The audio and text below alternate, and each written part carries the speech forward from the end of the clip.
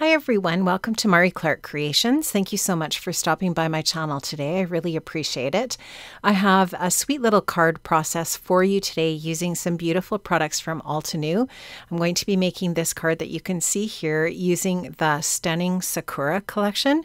This is the collection here that you can see on my table. I'm going to be using this beautiful stamp set that comes with this stunning sakura image and then a bunch of really fantastic sentiments as well. I really appreciated that there were a lot of sentiments included, and I also really like that Altenew includes this fantastic packaging that shows you some examples of card projects that you could make with the stamp set.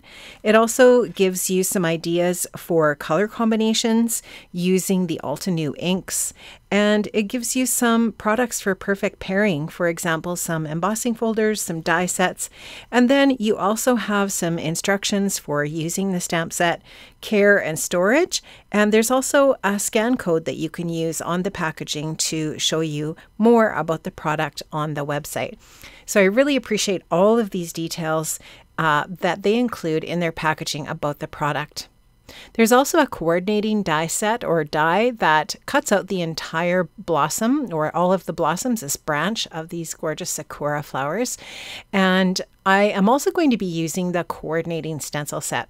This is a set of four stencils that allows you to ink blend to color in the images, which is so great because I am not the best colorist. I like to color, I like to watercolor I like to use my alcohol markers and my color pencils, but I will say that having a coordinating stencil to allow you to ink blend really is super, super fantastic. Now I'm going to start off here with my Mini Misti. I'm going to stamp out this Sakura image here onto some white cardstock using some black ink. I think I used Gina K Amalgam ink to stamp this out. Now I am going to use Pinkfresh inks to ink blend. I'm starting off here with a first stencil and I'm going to be using Coral Reef from Pinkfresh Studio for this first uh, pass with the stencil and the ink. And I'm just going for a really, really light corally pink color here. I'm not using a ton of ink or a ton of pressure. I'm using a clockwise and counterclockwise motion with this little brush to achieve just a really soft blend. Now there are three different stencils for layering color onto these petals. And the first two stencils I use Coral Reef. And I create the dimension just by creating a darker amount of ink with that coral reef. So this first pass, I'm just doing really light, a really, really light blend because I'm going to add some darker coral reef with the second stencil. So the idea is that if you use a little bit of a lighter hand when you're starting off here, and as you go, you can add some details with a darker hand, the same color, just a little bit of a darker amount of or more ink to darken it up a little bit. So I'm just adding the second stencil on now. I'm just gingerly putting this on, making sure that I get this lined up properly. It was really easy to do, didn't take long. Now I've got that taped into place.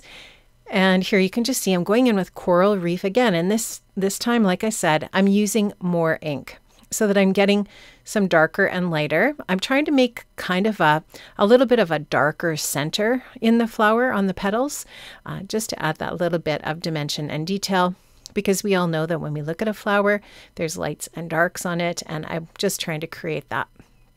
Now I'm going to go in with Pink Fresh Passion Fruit for the third stencil, and this is going to really nicely darken up these next petals. And this is really going to create some more dramatic color on the petals for the flower. And I really like the combination of that coral reef and the um, passion fruit. I think it's just really nice. And I don't have very many of the Altenew inks. I definitely would have tried this with Altenew, but I don't have, I have a few of their ink, ink cubes, but I don't have very many of their inks. So I decided to use my Pinkfresh inks, and these colors worked beautifully for this particular um, inking or ink blending. Now I am going to go in with another color here of Pinkfresh ink. This is fresh pear. And again, I'm creating those lights and darks just by adding a little bit of light to start with and then going darker closer to the petals of uh, the petal area, sort of like between the leaf and the petal, just darkening that area up a little bit as the the image trans sort of changes from the petal to the leaf, if that makes sense. And now you'll notice that this stencil is actually sectioned off so that each section has a different area of leaves. So you just have to line up and sort of turn the stencil and you can line up those leaves. And then there's also a section for the branches. I'm going to use Simon Says Stamp Sparrow for the branch area. And this is just a really nice dark brown. It's almost kind of like a gray brown. I really like this tone. And again, I'm just going in and ink blending to create that brown area on those branches. And that is going to finish up the stenciling with these gorgeous stencils from the Stunning Sakura collection from Altenew. So I'm just going to show you up close what this looks like when it's all ink blended up. I love the variation in the lights and darks. I think this is really beautiful. I really like how it turned out. Now I'm going to take the coordinating die. This is just one single die as I showed you at the beginning of the video and die cut that out. I'll set that aside and I'm going to be using the geometric 3D embossing folder from Altenew. I've cut that down so that it's slightly smaller than my A2 size card base. And I'm going to add some foam tape onto the back of that to really flatten that out nicely and give that a little bit of dimension on my card front. I'll take that release paper off the back and I'm going to add a little bit of Honeybee Stamps glue to the back. And that's just going to allow me to wiggle this around into place a little bit more when I go to add this foam tape to my card base. So my card base is just a top folding a2 size card base. It's 100 pound Hammermill cardstock that I've used for my card base here. I'll go ahead and adhere my card front to my card base. I'll give that a nice press just to make sure that it's nicely glued down there to the card base. And now I'm going to take my beautiful blossoms here and add those onto my embossed background with a little bit of foam adhesive.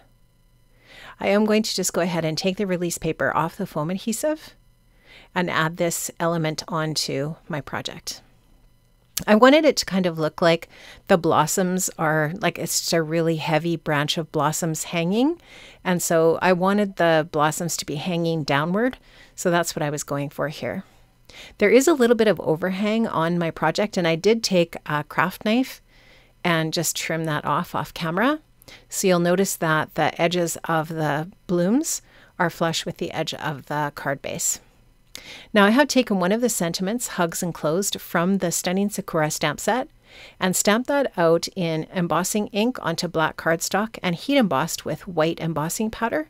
I've trimmed that down now and adding that on with some foam, foam adhesive onto my project.